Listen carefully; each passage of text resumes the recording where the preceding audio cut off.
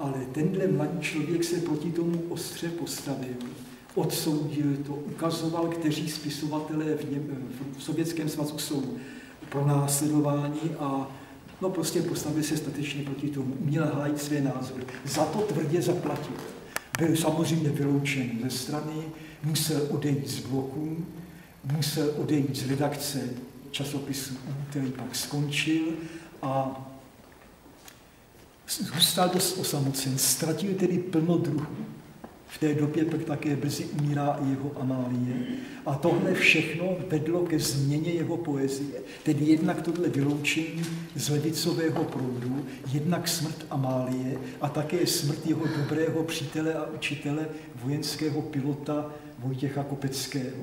Takže jeho poezie se mění, on opouští proletářská témata a nachází přírodní liriku, intimní eh, tóny rodinného života,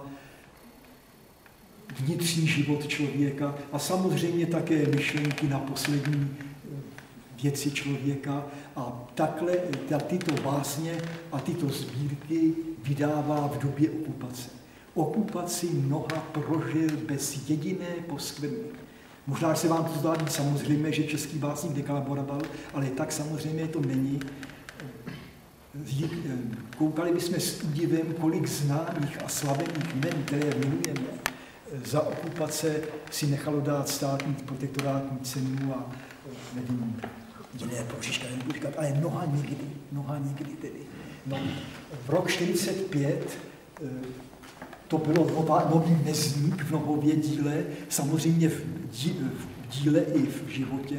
On se celou svou mladickou mladou, tedy už nebyl mladík, ale mladý člověk, pustil do obnovy země zpustošené, tedy tou okupací. On chodil na brigády. Představte si, že za rok měl třeba 600 manuálních brigád. Jo? Ředitel tiskání už tenkrát. Stal se ředitelem tiskání. Tam chtěl zavést a snad se mu to i podařilo nové vztahy mezi dělníky. V tom prvním projevu už 11. května říkal, vy tady jste většinu svého života, většinu dnes jste v továrně, žijte tady bez pospolitosti, bez nepřátelství, to je váš život. A jezdil na čtenářské besedy do nejzapadlejších koutů republiky, no prostě intenzivní činnost, samozřejmě také psal báseň, ale pořád nad ním stál jeden velký stín a to byla ta hrozba, že přijde pomsta za jeho vystoupení v době těch stalinských procesů. A to také do jisté míry přišlo, udělal to ten strejda prezident Antonín Zápotocký, který ho veřejně na sjezdu spisovatelů práskačky označil jako trotskistu, který vystoupil proti Stalinovi a já nevím, co všechno. Samozřejmě, že Noha podlehl velké hruze, že možná bude následovat proces, jaký byl proveden s Miladou Horákovou, kde jeho spolupracovník Záviš Kalandra dostal trest smrti a ten trest byl vykonán.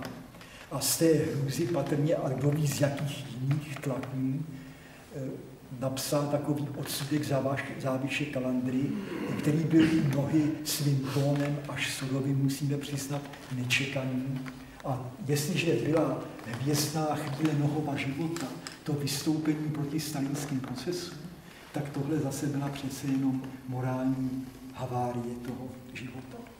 No ale život šel dál, on dál pokračoval, v 50. letech velmi intenzivně psal, za 10 let vydal 15 sbírek, to jako je opravdu něco.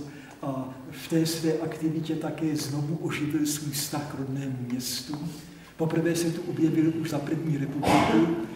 Tady byl akademický klub, starší Benešáci si možná připomenou, a ten uspořádá recitační večer se stínovým tancem, což si ne, nevím, co je tedy, ale eh, tam se recitovaly verše Bezvala, verše Halase a verše Jana Mohy a organizoval to právě Čilík Antar. Hrál tam třeba vám starším zase možná známý pan Migrín z banky, známý benešovský klavírista, takový organizátor kulturního života, asi jako byl muž, který podle pojmenovat tato síň malý Šíma. Tak to byla taková první návštěva tady, ale on teď v 50. letech se spojil eh, s Vlaďkem Antuškem, známým benešovským malířem, který také má z té výroční eh, narození v tomhle roce, ale nějak jsme ho pominuli, já malíř nejsem, tak jsem pozapomněl, ne, nepozapomněl, ale nemůžu toho mluvit. A ten tady vedl eh, kroužek, výtvarný kroužek dětí a velmi úspěšný kroužek a ty děti byly inspirovány samozřejmě pod vedením Antuška verši Jana Nohy a dělali na to různé linolity, které byly velmi úspěšné, dostali se na výstavy do Indie, do Paříže. Samozřejmě museli být nějak politicky kryty, tak si vždycky snad ne vymysleli, ale dělali to třeba ke konferenci obránci míru, také k 40. výročí KSČ. Mnozí hm, ty děti, které tam tehdy působily, tady dneska ještě žijou, třeba člen zastupitelstva pan inženýr Rachovský, který bohužel dneska nepřišel. A to byla taková tenkrát 12-letý chlapec, ale ten to vedl a oni mu to nechali vést. To byla zvláštní vztah těm dětem, co Antušek s nohou jako dovolili, aby ty děti měly pocit, že jsou rovnocení těm dospělým umělcům. Tak to byl jeho vztah k. No, ta poezie 50. a počátku 60. let samozřejmě byla poezie, která byla velmi četná, tedy zase to trpělo kvality, na kvalitě, a byla to poezie budovatelská, tedy hodně tam v ní bylo frází, byla myšlenkově mělká, esteticky plochá, takže je dobře, že v podstatě umřela s dobou svého vzniku. Ale když přišla přívětivější 60. léta, tak Noha se opět vrátil takovým lidským tématům přírodní liriky, osobního života a to už byla poezie, která i tu dneska může být živá. V té době už nějak Noha vycítil, že jeho život se chýlí ke konci, i když ke konci velmi předčasnému. A začal uvažovat o existenciálních otázkách, tedy o, ta, o posledních chvílích lidského života. Z toho třeba bych vám si dovolil zarecit, ne zarecitovat, ježišmarja, ale přečíst verše, které se ho týkají. Ptáci a lidé zemřou všelijak a nikomu se nechce ze stavení. Bývá tam zima, jak umírá pták, komu jsme po té zimě představili. No, básník se to dozvěděl 19. ledna 1966. Tak to asi tak stručně z životní cesty Jana Nohy. Kdybych naposled řekl několik, jenom už opravdu málo věd, tak já myslím, že Jan Noha byl výjimečný právě tím, že z proletářského prostředí došel k dost kvalitní profesionální poezii, profesionální umění. Že byl jedinečný také svými charakterovými vlastnostmi.